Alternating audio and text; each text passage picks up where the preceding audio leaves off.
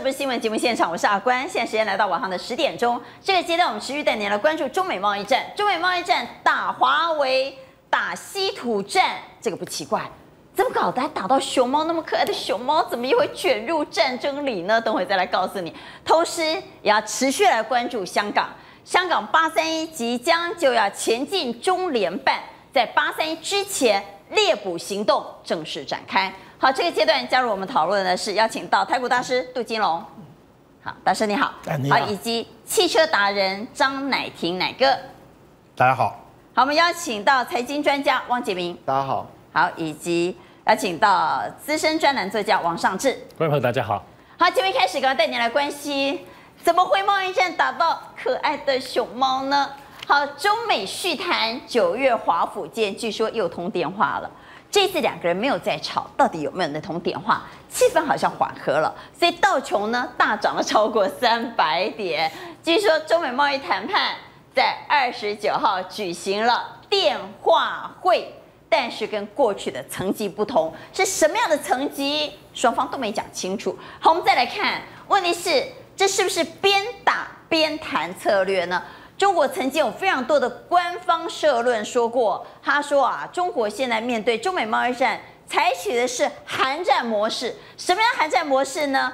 边打边谈，谈就是通电话，我好好跟你说啊，看起来好像气氛和缓了。但呢，打我照打。中国怎么打呢？中国说啊，美国熊猫要回归祖国了，而美国又怎么打呢？美国。把已经建到一半了、大半完成的、落成到香港的海缆，已经起出起个一半喊卡了。而起出起个一半这间公司当然是中国公司，而且跟美国合资，所以他说不行，有国安危机要喊卡。但我想观众朋友最关心还是熊猫哈，对，熊猫怎么会变成？中美贸易战的祭品呢？你无感觉熊猫迄两粒目睭是用喊掉？啊，哎，迄两粒目睭，只高水奈安呢？迄两粒目睭就是向喊两摸两下，才转乌青啊！你无感觉？其实这个哦，中美贸易战争到尾要复谈哦，什么层级不同，有什么不同？啊，刘鹤本来的副总经济，啊，无你诋毁川普跟那个习大大两个人一起谈，无什么层级不同，而且两个国家完全是没有互信基础。我认为两个国家是各怀鬼胎。但是现在露出和谈曙光，而且据说下个月就要去美国谈了。所以我们看到刀琼斯给一下刀琼斯的 K 线和盘中走势，连涨两天。昨天人家美股反弹，而且大涨啊。在今天的画面上，你可以看到刀琼斯昨天大涨超过三百点，收在两万六千三百六十二点。人家觉得哎，出现曙光了，气氛不错。我们再来看台股，好不好？台股也做了反应。台北股市加权指数呢，在今天也涨了，今天也往上反映了这股气氛，上涨了一点四九 percent，涨了一百五十五点，一百五十五点，多久没看到了？哎，这是多探，能量能量基本刚形胜美败啊！我这探川普多正常正常，这短暂时间跟起起一样，你啊，连刚刚伊都起笑的时候，又无气啊，所以这是短谈，短弹，而且是报复性的短弹，赶紧抢一下跌渣啦安尼尔。因为你足简单的嘛，这两个国家无可能讲嘛。你拄仔，你讲讲啥？讲边谈边打边谈，对不对？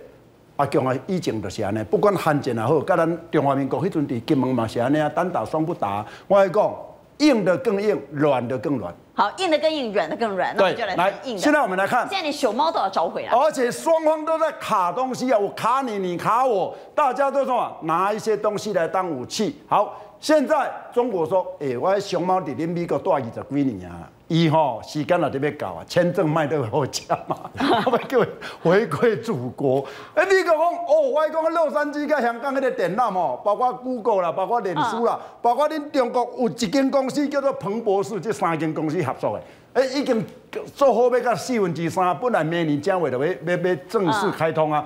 无爱给你开通，因为喏，你通去香港去，啊，香港是中国控制，哦，我讲这一定有机密外泄，所以讲。可是人家海底电缆都已经建好了，海下面都建好，那个最艰难的工程都做完，你现在给人家？哎，八千公里已经做好六千八百海里啊呢，迄百分之八十拢好啊，结果今嘛啊这么讲喊没当卡啊，所以讲由此可见，双方根本没有互信基础，所以我认为短期间吼听听就好啦，因为川普他本来伊的民伊讲的话拢仅供参考。啊！你莫甲相信遐济，伊的话若会听你吼，熊猫的赛嘛会价值。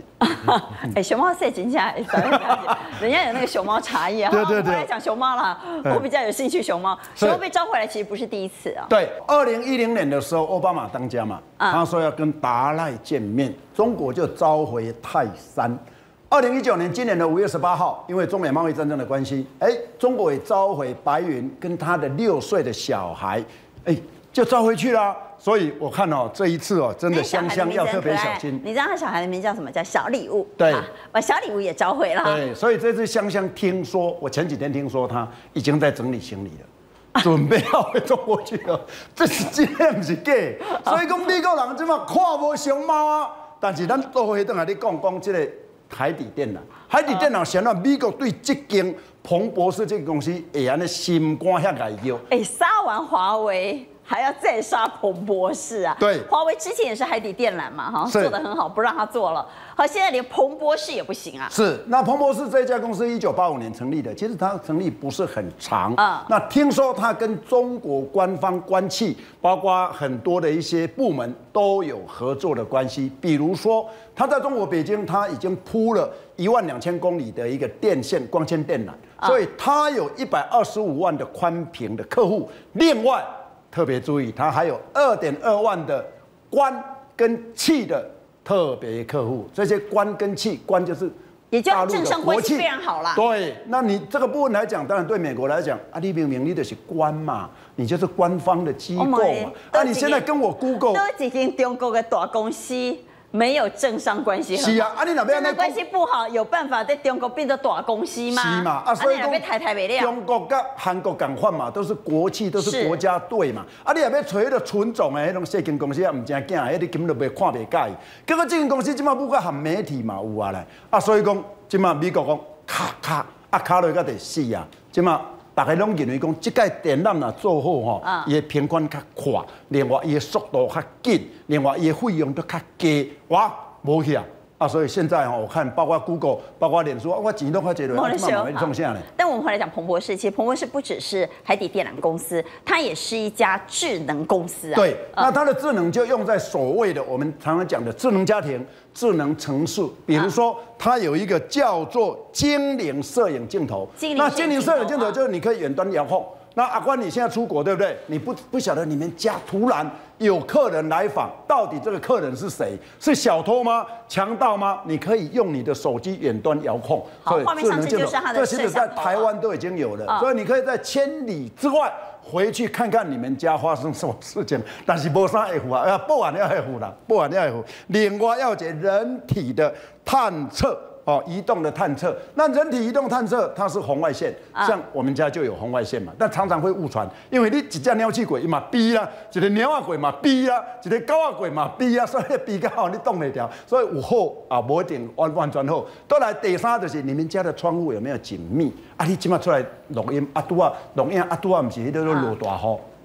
领导堂啊门无关，嗨啊，代际大条啊，这也是它侦测的范围。当然里面包括安全防护，嗯包括一些其他的节能省电，包括你现在下班之前先遥控一下，冷气先开啊，关到家的时候冷气已经降到二十三度，哦，你就比得足舒服哎。所以这些智能家庭它扩大会变成一个智能的城市。台湾现在目前也是往这个方向在做一个移动。好，所以彭博士其实不仅只是一家海底电缆公司，也是一家智能公司。不过我们回来讲海底电缆，为什么美国这么怕海底电缆，让中国承包呢？之前怕华为，现在怕彭博士，是因为海底电缆确实是一个非常艰难的工程。对，四十年前我就做海底电缆。但是中国做真正有高好。四十年前，我伫金门的时候，我是营部迄个通讯营，营部迄个营部政情，阮就是有平湖甲金门的海海底电缆。你知迄阿兵哥拍甲规那乌那迄个迄个水鬼啊呢，拢伫船顶写台呢，但是即马无共款啊。啊，阮即马海底电缆，咱看即台，即台是荷兰的，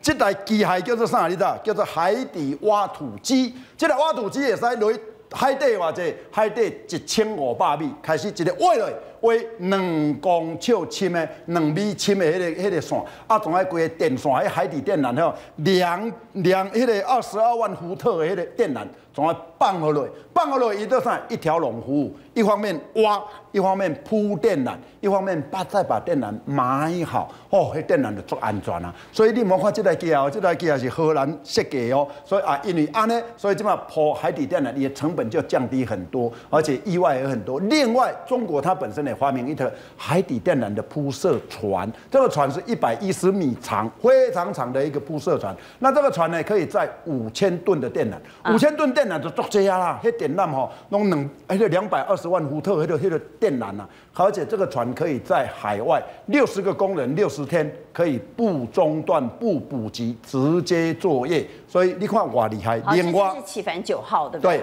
是，这招是中国自己研发的。是啊，啊也在一盖破瓦这破三万米跟六万米破完的等啊。那等来补给一盖，所以讲这台船吼也让先做者，而且它对海流的一个抗力可以抗到四节，所以讲你有当时海象不好哈，它照样可以工作。所以其实目前不管是中国、荷兰对海底电缆，它的一些所谓黑科技，其实对海底电缆的成本是 cost down 很多。好，所以中美贸易战真的是在边打边谈吗？看起来似乎看到了这样的氛围。但我回来讲熊猫，我还是比较喜欢谈熊猫。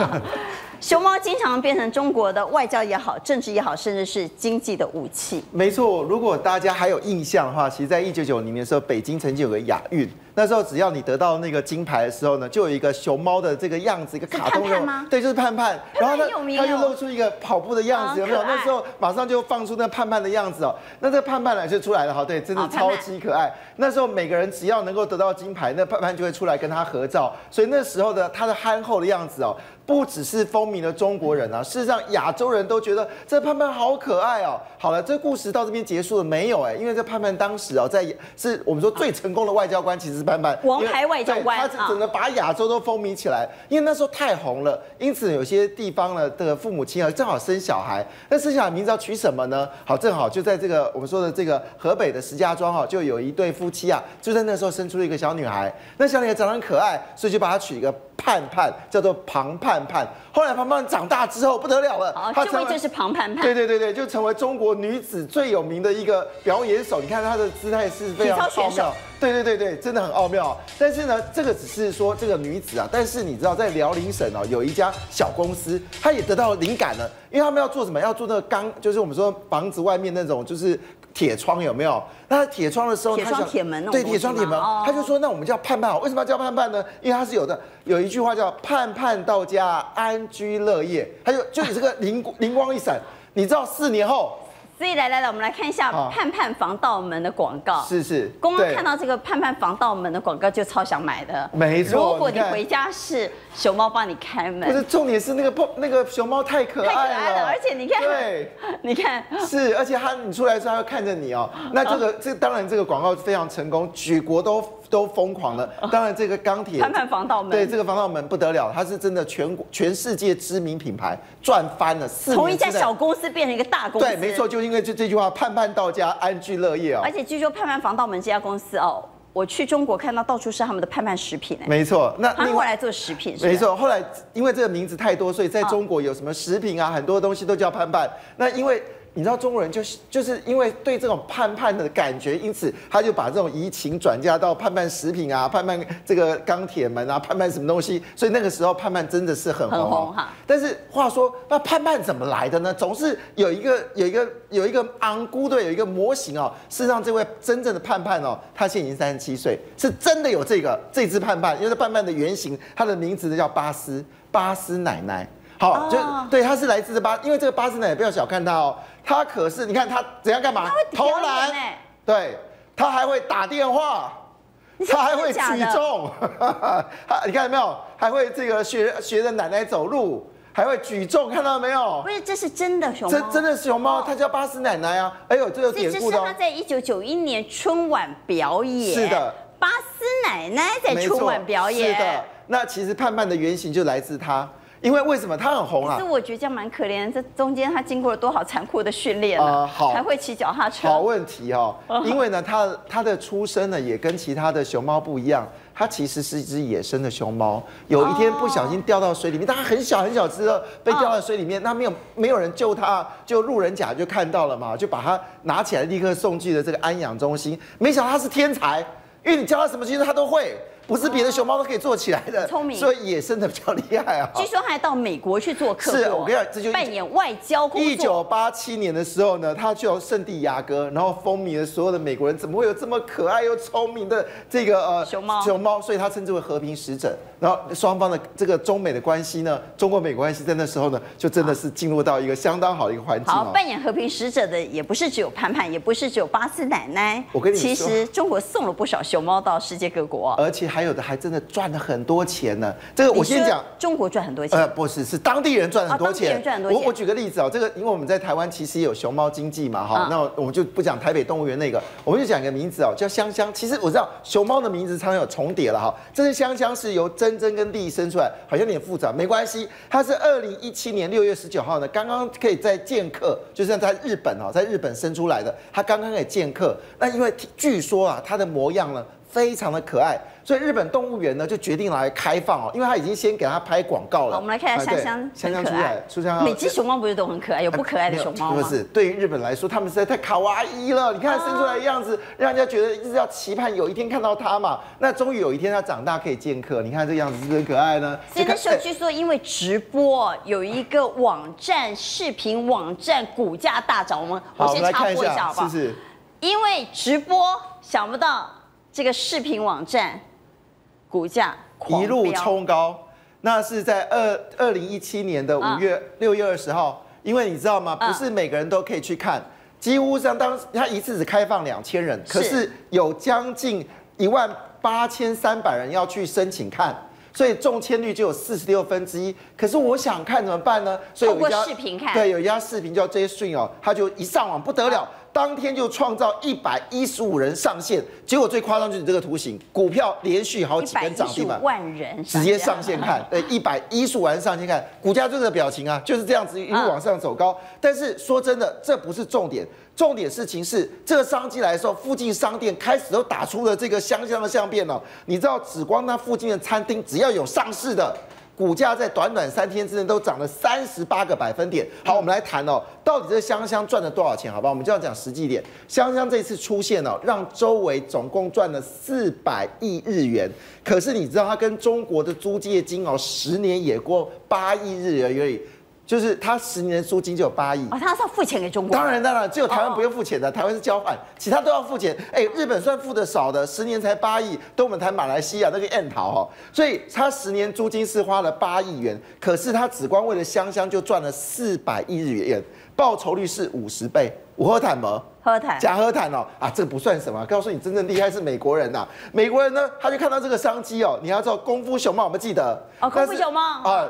那时候刚开始的时候呢，就是美国梦工厂看到这个机会嘛，他想说中国人会功夫不？功夫不？啊，叫熊猫加功夫。哦每一集我都有看啊，是啊，要恭喜你。现在到这一集啊，冲到日中国去放映的时候，从来没有动画片在中国可以创造一亿人民币以上的收视率。第一集的这个功夫动功夫熊猫到了中国放映的时候，就创造一点五亿了，一点五亿是开始哦。到了功夫熊猫三的时候，就是就是十亿哦，这不得了！你看功夫熊猫不是有玩有什么呃呃玩偶啊什么之类又是十五亿。都被梦工厂赚走了，而且梦工厂没有付钱哦，他就做这个事情就赚这么多钱。好，讲到这件事情哦，其实真正赚钱的不是那个不是那个动画啦。那你知道中国人其实很聪明，看到美国人很爱这个熊猫啊啊，他们就做一个中式熊猫餐厅。中式熊猫餐厅，对，就是中式快餐，简单一句话它就上面有一个有一个有个熊猫，哎，就这样子，熊猫你知道快餐熊猫快餐它一年可以赚多少钱吗？五百亿新台币啊！就是摆了一个熊猫，然后当然它有过程，它也会演出他们的食物有多可爱啊，然后旁边弄出熊猫，找些年轻人，然后展现它很年轻啊啊。但是不论怎么样，就叫熊猫嘛。就五百亿，好好了，对，真的好赚哦！可是中国当然也不是省油灯，既然大家很爱我们熊猫嘛，那很简单啊，因为它地方在四川的雅安哦，那雅安地方是那种山坡地，那山坡地最适合种什么？种茶叶嘛。那你种一般茶叶赚不了什么钱呐、我先讲金额好了，我还不先，我不想，我不过过程梗哦，我只讲金额。你有听过每公每斤的茶要卖二十一万九千八吗？阿关，你买得下去吗？我买不下去美金，那没关系，美金买不下去，买每两可以吧？每两是两万一千九百八十块钱。两万多啊！对，每两，我说的是两两，就是包装这样子。好了，为什么这那么红呢？原因是简单，那个熊熊猫不不是有布布吗？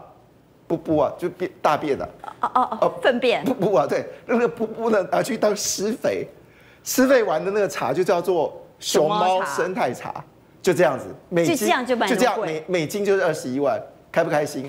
当然也不是每次都成功啦，也有人是觉得受不了。二零一四年的时候，当时这个马来西亚说啊，看到这个这个生意很好嘛，所以他就决定也引进了这个熊猫。那当然中国也不是省油灯，引进来当配一百万美金。好，那二零一四年的马来西亚说好了，我是租金嘛对，当第一期当配，后来每年都要付，哦每年都要另外再付。一百万美一百万美金，那马来西亚是大概是付最多的，没有没有，它其实欧洲还有付更高，好可付到七爱哦。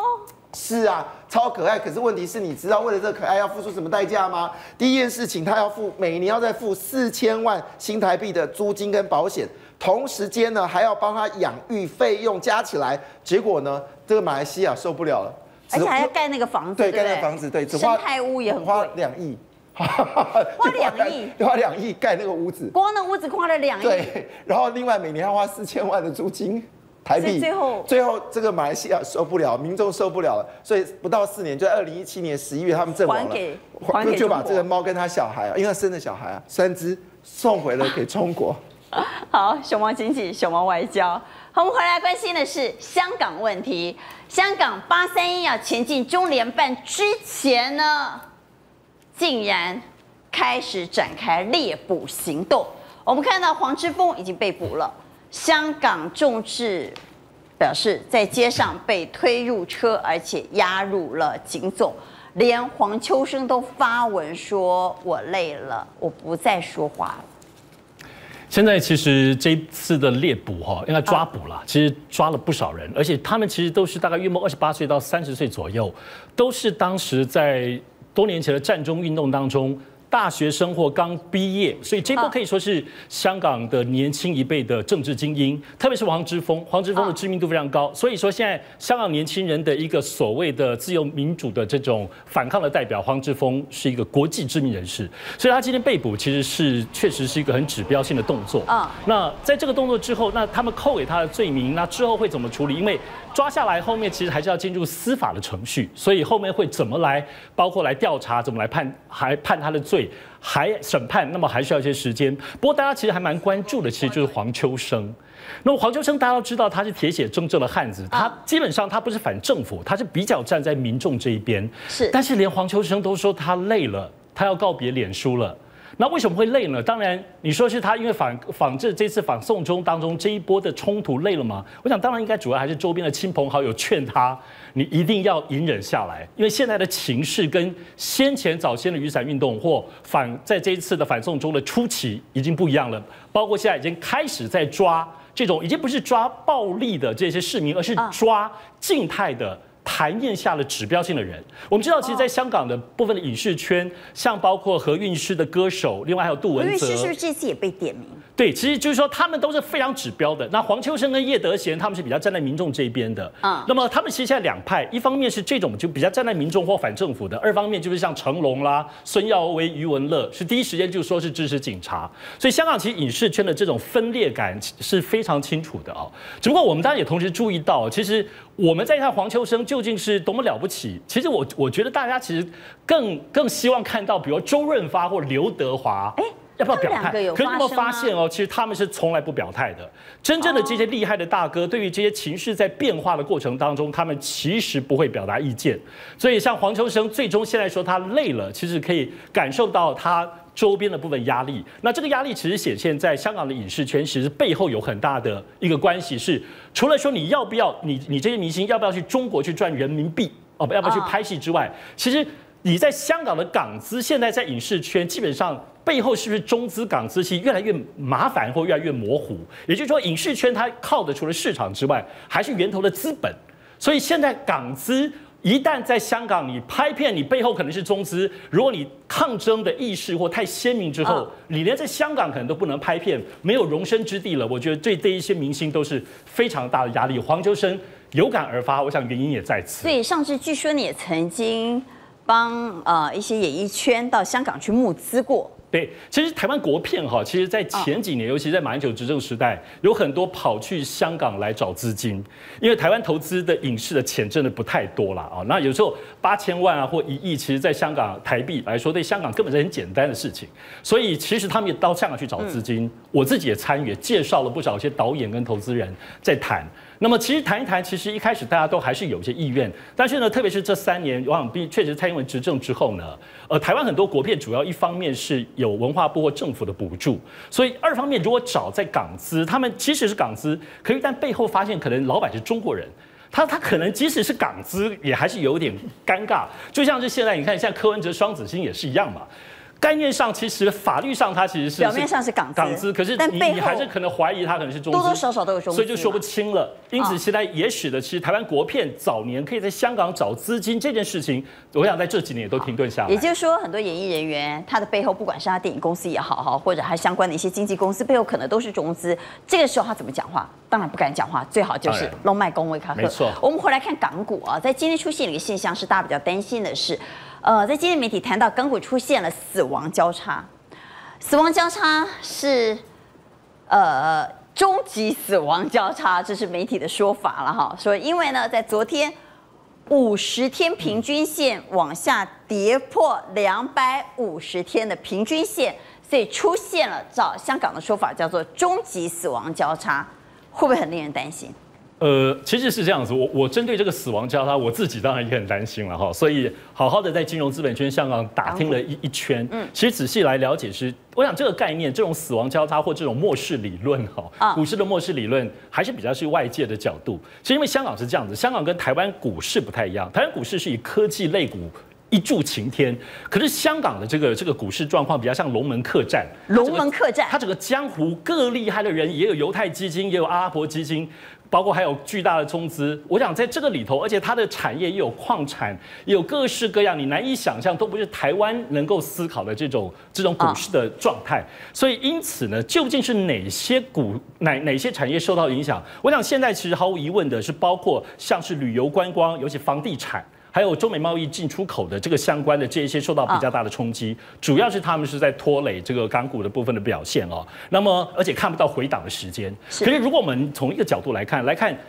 香港就港股当中最核心的就是万流归东的的这种金融类股，其实从金融类股来看，其实好像就那金融一定要看汇丰，对，我们当然一定要来看汇丰。其实我们来看汇丰哦，在这段时间部分表现，它虽然有些起伏，可是你发现其实还蛮稳定的，而且在包括在这样就蛮稳定，我都看到那个斜坡了。对，其实当然在那个过程当中，就是前一阵子就是确实有比较大波动，但你也看到至少在这两天当中很快就又回来了。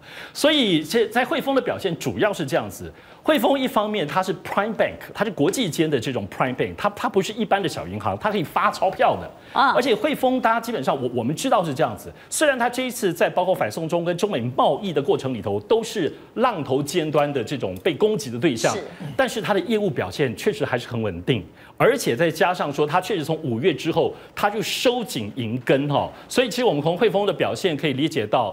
它确实基本上还是相对来说是可以在至少有下来，但是至少它不是一路的下去，有有回来一点。另外我们可以看另外一个股票，就是光大控股。光大控股其实是一个中国大陆的中国大陆的国企，在香港很有指标性的部分，它的表现。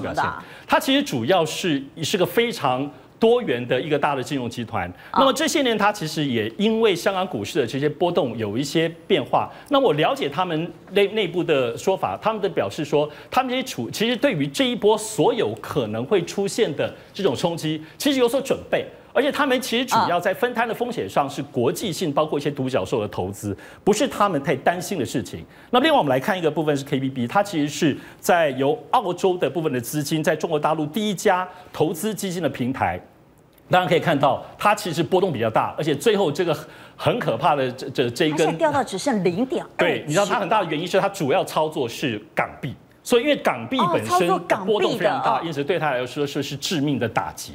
所以现在最令人担心其实是港币。对，其实港币当中所显现，包括我们刚刚讲汇丰啦，跟光华控股，如果有所影响，主要还是被港币拖垮。那因此，就类股自己本身来说，还是一个多元均衡的状态。好，所以我们当然担心港股跟港币后续的走势啊，它会牵动到整个亚洲股市未来的迈向脉动。好，我们回来看那台北股市呢？台北股市在今天表现很好，台北股市在今天大涨了超过百点，好久没有看到这么乐观的氛围，难道只因为打那通电话吗？反而说。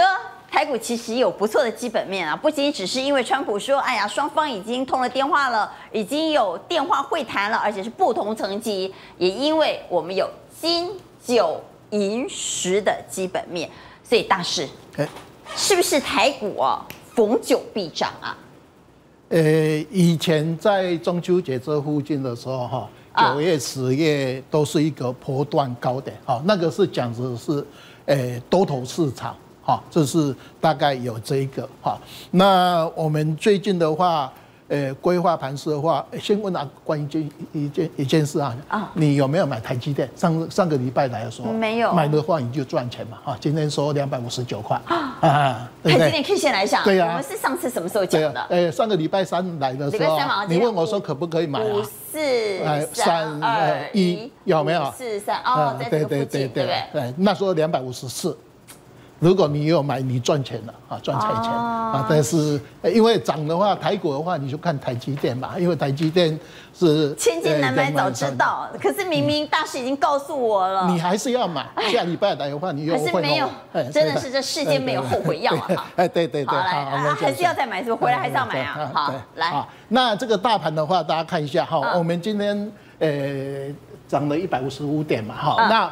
其实我个人规划盘市的话，是从今年的一月，诶四号九三一九哈，就是说，诶涨十三个月，所以我们在第五个月回嘛，是。那这个月今天八月底也回了大概一点九趴哦，所以五月八月回。那九十应该会涨，而且一直大概到明年的一月份都是一个比较看多的一个盘局，所以我们大概八月份是我们这一次最差的一个月啊，那拉尾盘。其实我们从七月中旬二十几号就一直跌到八月六号就不跌了，那大概已经有盘了三个礼拜哦。那今天拉长红线完以后，就脱离这个八月份的一个跌势哦，所以我们规划。呃，九月十三号不是中秋节嘛？啊，对，所以刚才的九十，我们规划都是涨的一个月份比较多。金九银十。对对。好，那我们再来看，这是。呃，这个是呃十年线，就说我们用西元的，今年是二零一九，所以我的标题是红酒必涨，红岭。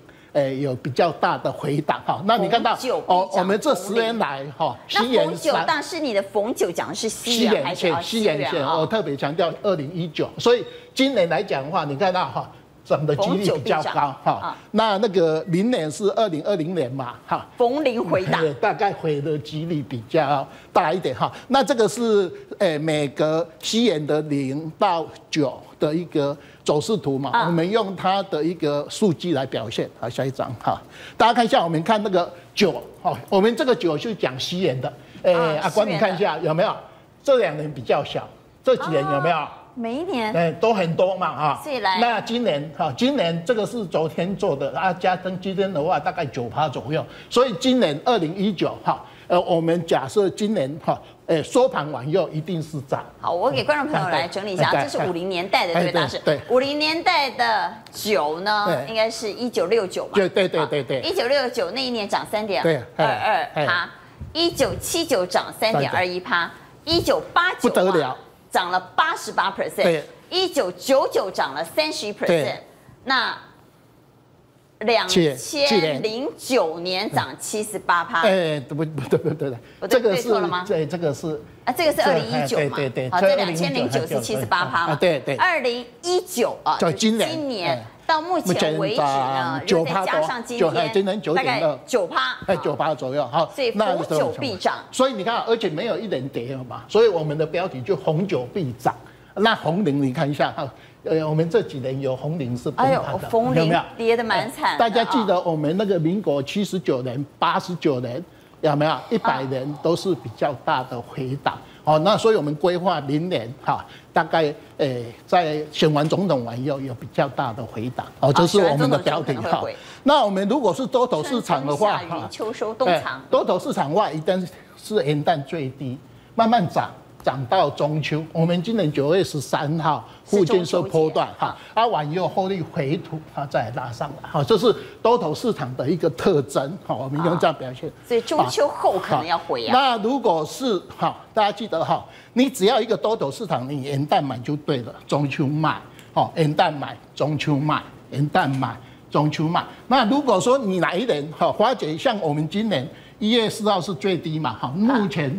在我们呃九月十三号这附近，哈，假设突破呃我们去年的高点一一二七零嘛，哈，我们假设说，呃涨到一一三零零，好，那完以后你有一个小回档，那我们规划明年的高点，哈，不是会到一三二二一嘛？是，所以呃今年的中秋，哈，假设九月十月可以卖点，明年的选完总统，哦，假设过过历史新高，也是一个卖点，完以后。哎，明年就走入空头市场，好，所以我们的规划今年中秋哈是涨的几率很高，而且会创波段高点。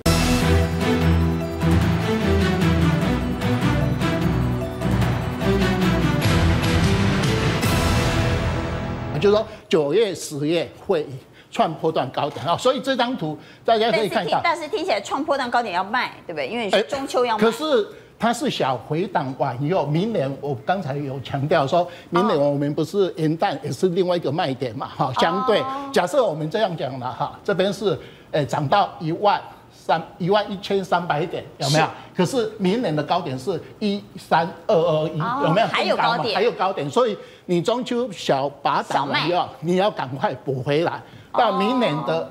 元旦这附近才是真的比较大的一个卖点，好，这是我们这一张所谓的节气变化哈。那我们为什么会有中秋节理论，你知道吗？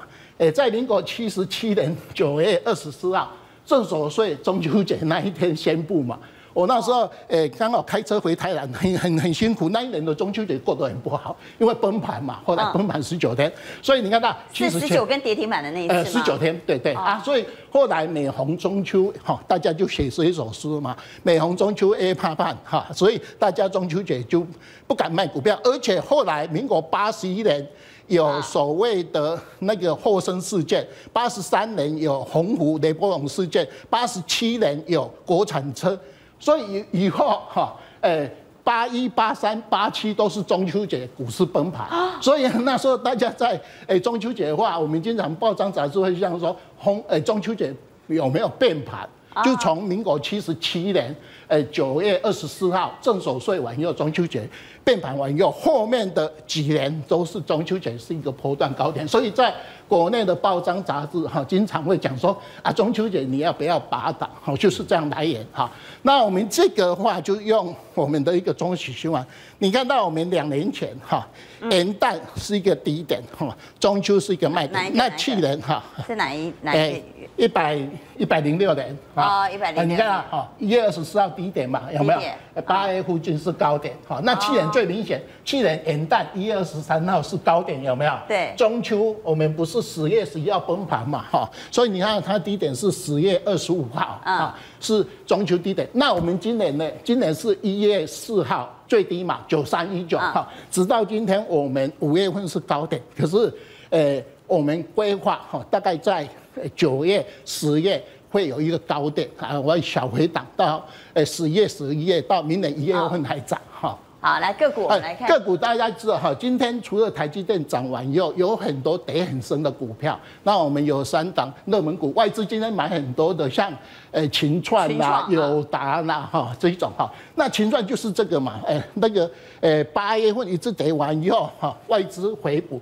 哦，那这边有呃那个办库藏股，库对，现在还在卖，没有没有问题哈。它库藏股有八亿嘛，后来三十亿嘛，好，所以外资一路卖嘛，有没有？可是这个就是德升的股票，哈。那再我们看德升的股票，啊，红海。红海就是今天谣传它有，呃，大概在九月十九号嘛。可是红海的话，我我是个人认为，谣传什么九月十九号？就是要选登记选总统，这个大家谣传他九月十九号，因为还没确认，我们就呃就不做呃视频嘛。哈，你看到他今天这一支长红线啊，那也是跌升的股票。可是因为是对股价是利多还是利空？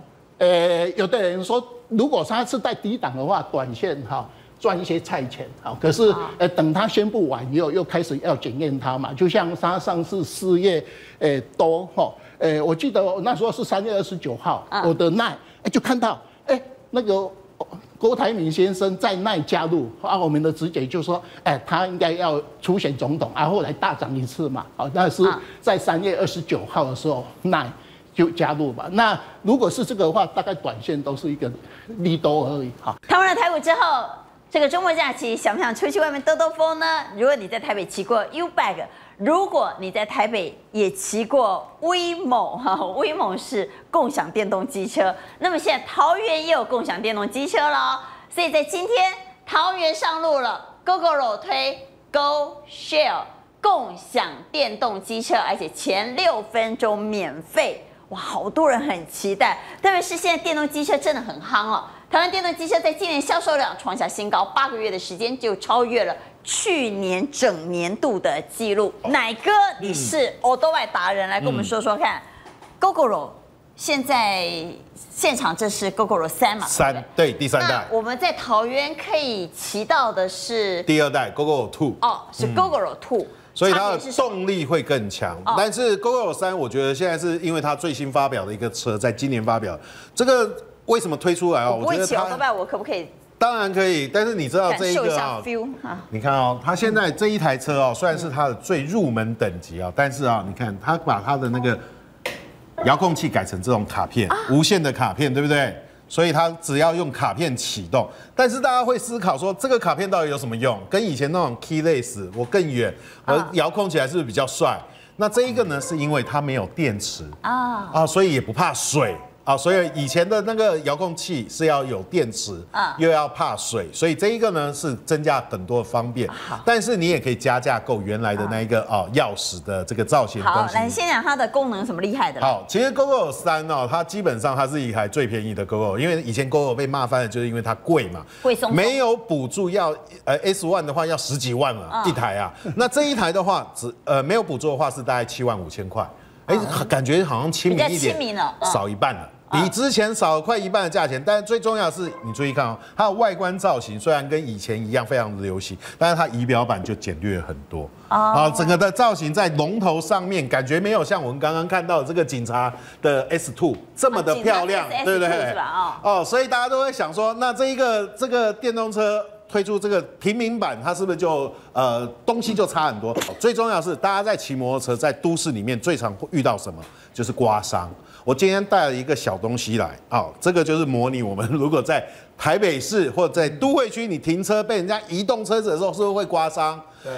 这个 GoGo 三呢，它就是用环保的材质，而且是食品级的哦。不是你现场要刮吗？对对对对对。别闹了。哎，我跟车主已经沟通过了，他说可以刮，因为他就是要。所以你负责哦，跟我们节目无关哦。对对对，为什么？因为行为不代表本台立场。对，因为啊，基本上如果我去刮一般的摩托车烤漆，一刮就是白白一条了，嗯，漆掉了嘛，里面就是白色的这个素板嘛，对不对？但是注意看哦，如果我这个是现在米色，很漂亮，对不对？那如果刮，嗯。很深了。照理说，以啊，不管是中华 eMovie 还是这个洪家腾的这个 AI One 哦，它一定会露出底色来。可是你注意看，我把这磨掉，就外面虚虚弄掉，它里面的底色是跟外面一模一样。这个是什么？你知道吗？它是食品级，就是我们食品用的这个塑料。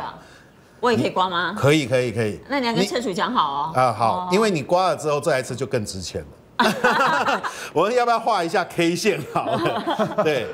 哦，这个其实，在它都市里难免会发生这种刮伤，对不对？哦，这种刮伤。可是如果你知道以前的 GoGoRo，大家都说它是精品，你刮到一条的话不得了，都要换一换一片。现在材质不一样。对，材质不一样，而且它是环保的。但是它有没有缺点？我觉得还是要看时间。就是说，我们会说环保材质会跟汽车一样，等下起毛球啊，还是掉了整块掉下来，这个我不知道，需要时间，因为它是新的车型。那这一台是什么？这一台呢，其实是中华推出来的。中华哦。对，中华推出来的这个 eMovie 啊，但是它这是推出来。那这个也掂一下。好，这一台是。不能掂。这一台是。哦，我启动的时候，你骑摩托车的时候，有时候骑在路上会想女朋友。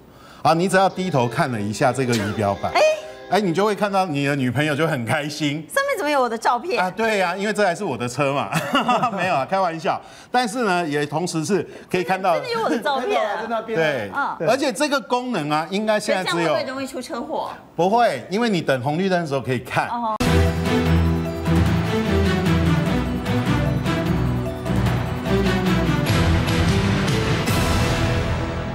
但是最重要的是，这个 eMovie 跟其他的车种有什么不一样？哈，我们这最重要的是，譬如说，你现在坐在上面，对不对？我只要按一下，有没有？我不会骑摩托车，你不要闹了。它是不是就下来了？有有有，方便很方便，对不对？它不，它不用很重，这样扛来扛。对，然后我只要直接刚刚是下来，对不对？我一按着，你你还是坐在上面，对不对？嗯嗯。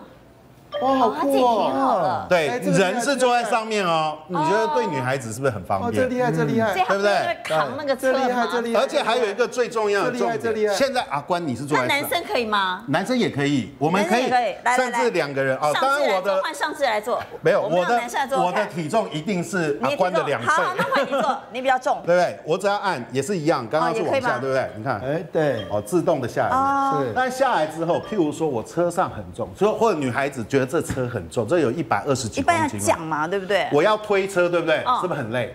但是呢，我只要这个，我按这个往上，就代表往前。我只要勾这个，它就可以慢慢的走，而且它会停住，用马达的刹车，斜坡也不怕。如果我要后退，我只要按一下，它就后退。哦，那是为什么不用油门来控制呢？因为有时候大家知道爆冲是怎么来的，不小心转到油门勾到嘛，紧张嘛。但是如果我是用手指头勾。我一放开它就停了，它就有刹车功能，所以斜坡它也不会动。对女孩子来说是不是很体贴？哦，所以因为人是哪个的重量，它也看起来对，因为动得很轻盈。对，因为人行道是不能骑摩托车，那所以你要牵行。那摩托车一百二十几公斤，有时候很重，要牵五十公尺怎么办？我就用这个功能。速度慢，然后我上面甚至载货，或者是那个 Uber Eats 的那个送货员，如果我东西很多，我可以用这种方法来迁徙。好，来来，那这一台是什么？那我们来看下一台。我们今天真的是要大 PK 一下，来，这一台是洪家腾是吧？洪家腾这一台呢，也是最新推出来的。我也来做一下，好。对，但是呢，这一款呢，它用的是 Google 的心脏。哦，还有 Google 的电池，所以大家说啊，这一台就了无新这台没有我的照片啊，对，这个好逊哦，怎么办？可是你有没有发现它仪表板好像都比别人大？哎，好大一个的。它的重点就在仪表板，好，就是给眼睛比较不好的人。对，为什么？因为我刚刚说了，这台车它的这个心脏、动力心脏跟电池是来自于 Google，所以基本上它是以 S Two 的规格来做，所以没有什么差别。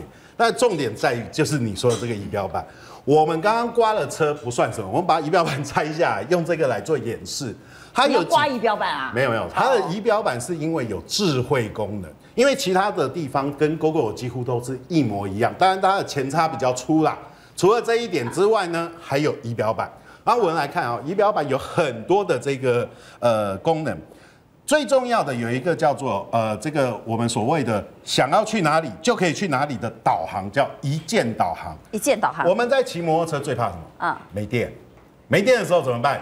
我们用手机找 APP 找那个充电站，对。但是这个不用哦，它只要按一下。好，比如说我现在要找这个所谓的充电站，对。我按五秒钟之后，好放开，然后他就问你是不是要导航到最近的充电站？然后呢，你就按一下。哦。然后他就帮你找，对我就放开哦，没有，他直接帮你，他 OK 了，然后说来来了，直接帮你导航到充电站，九十七公尺。而且你距离我们公司九十七公尺有个就有一个充电站，而且这个充电充电站除了这个之外，你还可以设定家里，所以我只要按一下，我知道就按一下，它就会帮我导航到家里。所以它有导航功能啊？这是其他车没有的。我把导航做在这个仪表板里面是内建的，而且它还有什么警示？如果你超速了，有照相机，大家都会怕，对不对？它会提醒你前有测速。前有测速照相。这个也是其他车没有的，我觉得这很针对台湾的驾驶队。去使用。